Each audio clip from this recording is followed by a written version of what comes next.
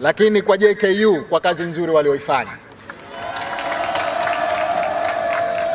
Tulikuwa tunadhani kwamba vyombo vyetu hivi vya ulinzi na usalama havina uwezo, lakini sasa tunathibitisha kila project tunaowapa wanaifanya kwa ufanisi kabisa. Hongereni sana